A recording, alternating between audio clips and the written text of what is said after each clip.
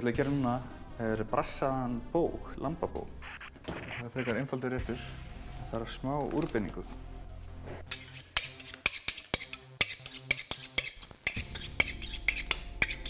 Axlabein. Byrjum við hérna að fylgja beininu.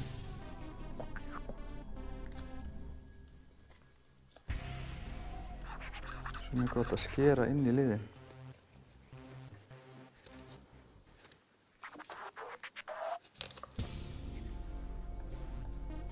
Þetta geymum við í svoðið.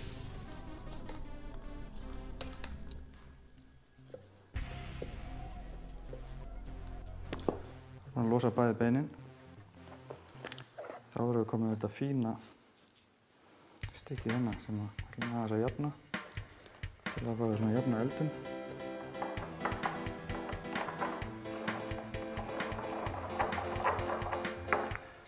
Sem við blöndu smá stjörnanís og þessu jólakryddum, smá negull, smá kanel, gerum okkur eigin blöndu. Það fara að krydda svolítið vel.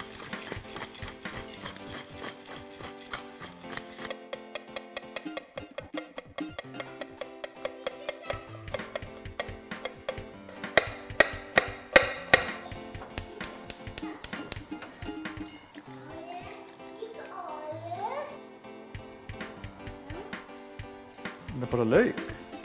Laukurinn góður.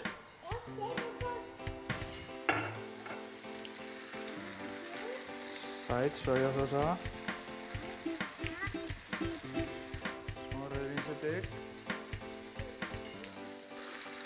Worcestersósu.